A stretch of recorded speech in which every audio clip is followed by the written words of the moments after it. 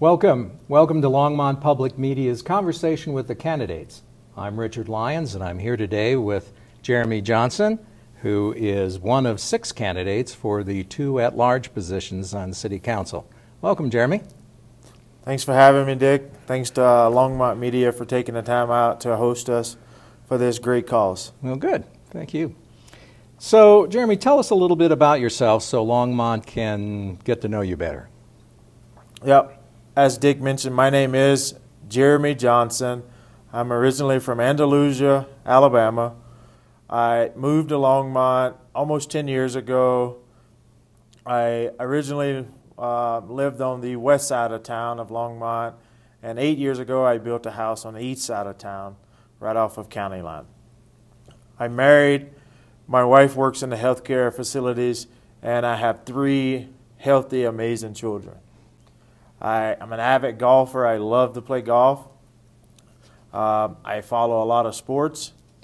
Coached high school basketball for a couple years here for a local high school, Niwot Cougars. Um, looking forward to getting more involved in the community. I have a real passion for people. That's why I chose to be in the insurance and financial world because I work with people every day. Very good. What brought you to Longmont? Well, my wife was working in Boulder at the time, and I traveled for my job. So financially, living in Colorado was more for her to stay here than me being down south. So I kind of swallowed my pride and moved out here to Colorado, which I was afraid at first because of the big city. And ever since I've been here, I kind of just grew to call Longmont home. Very good. So tell us, what one thing do you want the Longmont voters to know about you? The most important thing is I know you hear it from everybody who's running for an elected office that they're for the people. Honest and truly, my whole goal, my whole outlook is I don't want to just be for you, I want to be with you. Because the decisions that's made affects me just like they affect you. So please, let me have everything you have to offer, and I'll give you everything I have to offer. Fair enough. What do you especially like and don't like about Longmont? I really like Longmont because it has a lot to offer. I mean, no matter what side of town or what part of town you go into, it's always something that you can do or get involved in. And there's a lot of opportunity here. And if you take advantage of the opportunities that's in front of us, we can make Longmont a lot better than what it is. One things I do not like about Longmont is we are easily going away from the backbone of the city. This city was founded off the hard work of many people, and a lot of those people were small business owners. If we look, a lot of small businesses, due to COVID or whatever circumstances, are leaving this city. And when they leave the city, it affects the entire city jobs, tax revenue, and then those places that we've grown to love that's been pillars of the community. So let's do a hypothetical. Assume you're on city council and um, the city is given a no strings attached $1 million grant to use it in any way the city council so chooses. How would you use it and why? I would use that grant in a multiple different areas. The first I would use that grant to look at the crisis we have right now the affordable and attainable homes, trying to find that happy median so we can benefit in both areas. Some of that money will also be used in our youth. I mean, I spoke to a couple people and I spoke to a couple places. We need to figure out a way to invest money, more money in the education of our youth because we speak about diversity. Some kids can learn in different areas than others. So we have to give them the resources to learn in different areas. The last part of that money, I would put it back into the small businesses. Give the small businesses resources to make sure they can succeed and stay a pillar of this community. Good. So, Jeremy, did you have a person that was your mentor or that was very influential in your life? Uh, and, and if so, how did that person help or influence you? So, I didn't have just one person. I have my grandmother and grandfather who basically helped raise me. I come from a single, my mom was single. My dad never was really part of my life growing up. So I leaned on my grandfather and my grandmother. And one thing I learned from them was no matter what you put into life, you're only going to get as much as you put into it. My grandfather, who was a truck driver, he never once complained about having to go to work. And I watched that even as his health was going, you know, in a different direction. He still never once complained about having to go to work. And my grandmother the same way. I mean, she did whatever it took as a kid growing up to make sure we had anything and everything we wanted. As I got older, I had a lot of people in my hometown that would invest time in me to say, hey, continue to strive, continue to be better than your surrounding. I took that advice, I joined the Army. And once I joined the Army, that kind of changed my mindset on my outcome of life. I wanted to be bigger and better than the opportunity that I had. And I think by those choices I made has set me up to be a mentor for people that's younger than me today. Well, that leads to the next question. Are you paying it forward? Are you uh, mentoring someone now or? Yeah, I speak with a lot of youth and right now my I have I'll bring up one person that I work a lot with and he's a kid that I coach basketball with at Niwot. He's very special to my heart. Um, was never really given the opportunity to showcase his talents. And I got on the staff at Niwot and he was on my team. And I have actually not only was he a player of mine, I really consider him as a bonus child. We still speak even though he's graduated. He calls and tells me his, his success. And I give him encouragement because, I mean, he has some health issues that he was born with. But I tell him, those are not your identity. Your identity is what you're putting out for people to see. And then I have younger cousins that live back in Alabama, which I force them to make an impact in the education system. Um, out of my family, I am the first generation or graduate in my family to graduate high school with honors. So I want that trend to come back to life. So I'm investing a lot of time in my younger family members to force them to be better than the opportunity they have. Oh, that's great. You know, um, Colorado and Longmont uh, have lots of recreational opportunities. Uh, which one do you, uh, ones do you take advantage of, and what do you do in your leisure time? Well, you're right. It's a lot to do here recreational. I particularly I love golf, so I play a lot of golf at some of the city courses. Uh, a few years back, I joined Fox Hill Country Club, so I spent a lot of time playing golf there. I love baseball, so I spend time out at Sandstone Ranch, mm-hmm. at the baseball fields, the batting cages at Garden Acres. I, I mean, anything that deals with the youth. And I feel like as a city, we look at opportunities for the youth. There's a lot of money that parents spend on sports. Mm-hmm.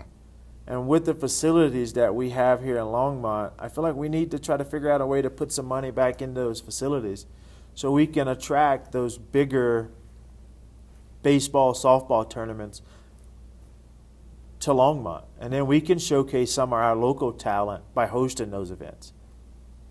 Oh, that's great. So I just read this morning they're, they're still revising the congressional district maps under the redistricting. And it looks as if um, the latest map, um, that Longmont will switch from being in Ken Buck's 4th congressional district to the second congressional district with Boulder and, and the mountains up in the northwest. How do you uh, how do you think that's going to affect, if any, Longmont? I don't I don't really see a direct effect. We basically sitting here. I mean, we can kind of control how that's going to affect us by the decisions we make here in the city of Longmont. We can't let you know the congressional reform or redistricting affect the way we make our decisions. We are trusting the public to give us the feedback, and then you have to trust the elected officials that's going to make those decisions to put a success plan in for the citizens. So, how do you stay informed about uh, local, state, and national issues? How do you well keep up? I try to stay off social media because you have to believe half of what you see and read there. So a lot of it I get from people who are or have been in elected office. I spend a lot of time with those people. And then also I get a lot of my information from the citizens. I mean, in my short time here in Longmont, I've come to have a relationship with some really true Longmont natives. And they can give me a lot of valuable feedback. Good. So, I think you'd agree, I think we all agree that national politics are very divisive, um, especially on the federal and now the state level. Although the city of Longmont is nonpartisan, some say it's becoming a little bit more divisive, more political. What would you do to keep that divisiveness uh, from occurring on Longmont City Council? It's funny. As you say, the federal and some of the state politics, we have the red, the blue, the left, the right. At the end of the day, we have one goal in common, and that's people making sure that people are being taken care of. You might have been raised Democrat, you might have been raised Republican, you might have been raised independent. But at the end of the day, we all have values. And the most important value is respect, loyalty, and love. No matter which side of the fence or whatever partisan you want to go on. So to me, those decisions need to be kept you can keep them in your mind, but you can't let that be your decision making process. Because no matter if a person's Republican or if they're Democrat or independent, you still have to respect their mind.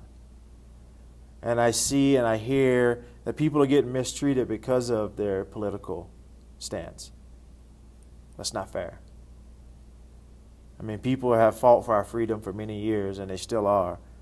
So we can't give that up. So we have to stand strong. Let people voice their opinion, but just don't throw stones because they voice their opinion. Good. So, how do you plan in, on involving the residents of Longmont in the city council decisions? So, that can go a couple ways.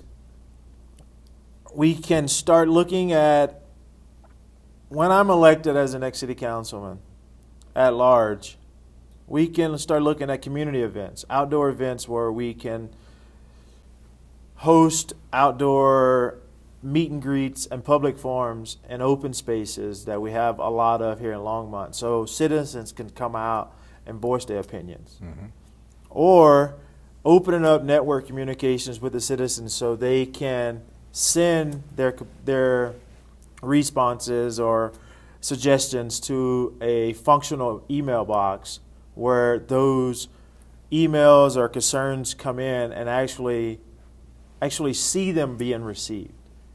Actually giving them an opportunity, not just at the city council meeting to show up or a phone number to call, but actually have calendar events set up either quarterly or every six months or however you, we feel it necessary in different parts of the community so they feel like they're actually being part of that decision making process and showing them that they are part of it.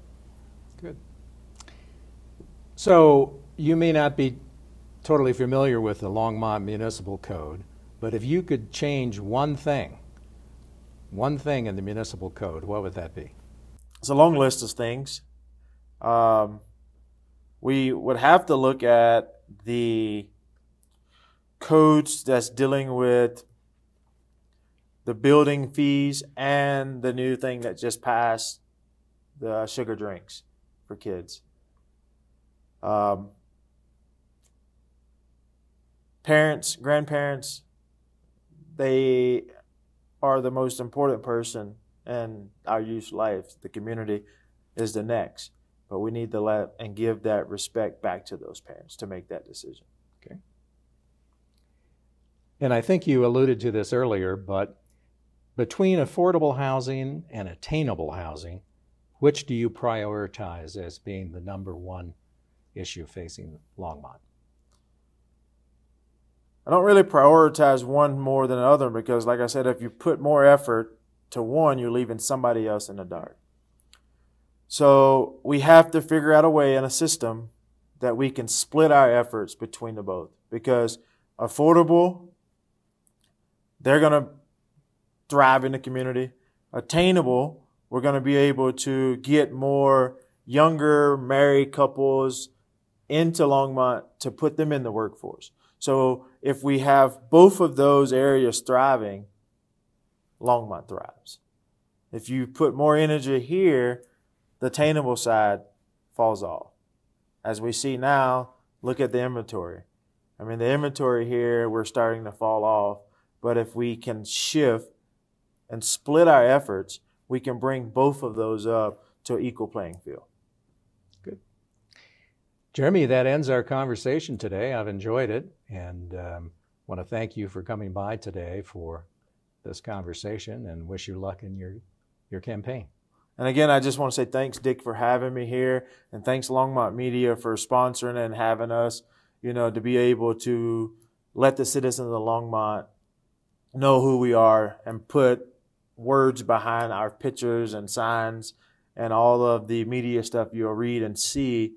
Uh, but any citizen of Longmont that sees this, feel free to reach out. Feel free to figure out a way to contact me. I do have a social media page that's live. Post stuff on there. I'll give you feedback and I'll give you honest feedback. Good. Well, thank you. Thanks.